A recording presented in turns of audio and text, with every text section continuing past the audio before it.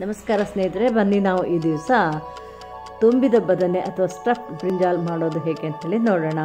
ಇದು stuffed brinjal ತುಂಬ ರುಚಿಯಾದಂತಹ ಒಂದು ಪದಾರ್ಥ.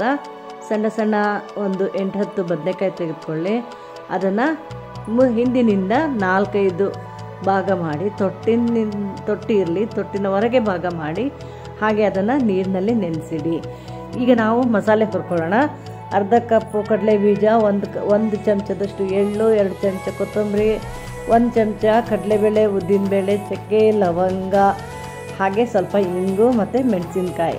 ಇದೆಲ್ಲನ ಒಂದೊಂದಾಗಿ ಹುರಿದು ಅದನ್ನು ತಣ್ಣಗಾಗಲಿ ಬಿಡೋಣ. ಹಾಗೆ ಒಂದು ಅರ್ಧ ಕಪ್ಪಷ್ಟು ತೆಂಗಿನಕಾಯಿ. ಇದನ್ನು ತಗೊಂಡು ನಾವು ಪುಡಿ ಮಾಡೋಣ.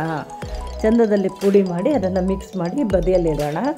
ಈಗ ಆ ನೀರಿನಲ್ಲಿ ನೆನೆಸಿರ್ತೇವಲ್ಲ ಆ ಬದನೆಕಾಯಿನ ಹಿಂಡಿ ನೀರೆಲ್ಲ ತೆಗೆದು ಬದಿಯಲ್ಲಿ ಇಟ್ಕೊಳ್ಳಿ ಅದಕ್ಕೆ ಮಾಡಿದಂತಹ ಮಸಾಲೆಯನ್ನು ಸ್ವಲ್ಪ ಸ್ವಲ್ಪವಾಗಿ ಅದರೊಳಗೆ ತುಂಬಿ ಅದನ್ನು ಒಂದು ತಟ್ಟೆಯಲ್ಲಿ ಜೋಡಿಸಿಡಿ, ಒಂದೊಂದಾಗಿ ಜೋಡಿಸಿಡಿ.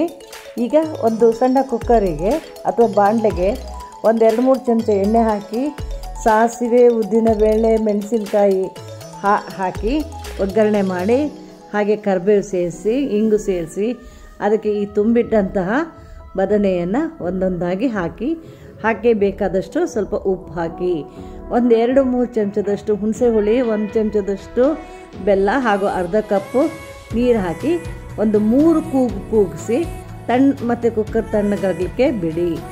ಈಗ ಒಂದೊಂದಾಗಿ ತೆಗೆದಿಡಿ ಕುಕ್ಕರಿಂದ, ಮತ್ತು ಉಳಿದ ಮಸಾಲೆಯನ್ನು ಅದರ ಮೇಲೆ ಹಾಕಿ ಬಡಿಸಿ. ಈಗ ತುಂಬಿದ ಬದನೆ ತಯಾರಾಗಿದೆ. ಲೈಕ್ ಮಾಡಿ ಶೇರ್ ಮಾಡಿ ಕಮೆಂಟ್ ಮಾಡಿ ಹಾಗೆ ಸಬ್ಸ್ಕ್ರೈಬ್ ಮಾಡಿ. ಧನ್ಯವಾದಗಳು.